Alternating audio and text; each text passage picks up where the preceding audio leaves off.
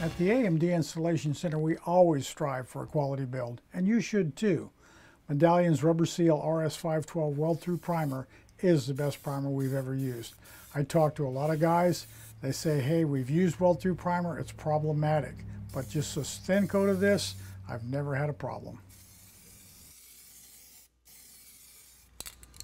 It doesn't take a lot of weld-through primer, but it does help. Now, give the bottom of the panel light coat also.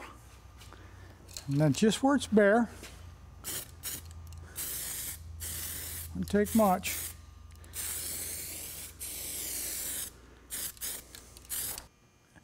You know, whenever the camera guy asks me a question, I, I think, I wonder who else has the same question. And the question was, are we going to spray the other side? And no, we're not.